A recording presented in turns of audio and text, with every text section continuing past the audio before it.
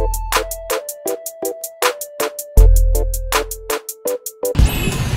welcome back my friends to the brand new episode of our YouTube channel and this channel name is Desi Footballers. I'm your Harshit and this is Arjun and today we are going to teach you the foot stall. Easy to do and let's get started. So I have break down this trick into two different parts. First, make a sole roll and second, balance the ball between your shin and your toe. And if you are not able to do this trick, it means that your toe is not flexible. For making your toe flexible, do daily exercises.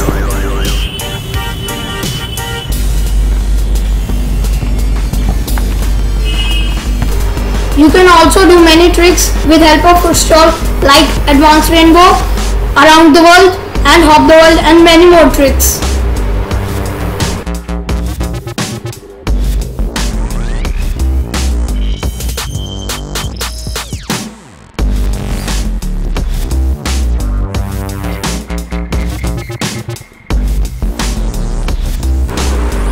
If you like this video, click on subscribe button, smash on like button, also click on notification button to get all the updates on our YouTube channel.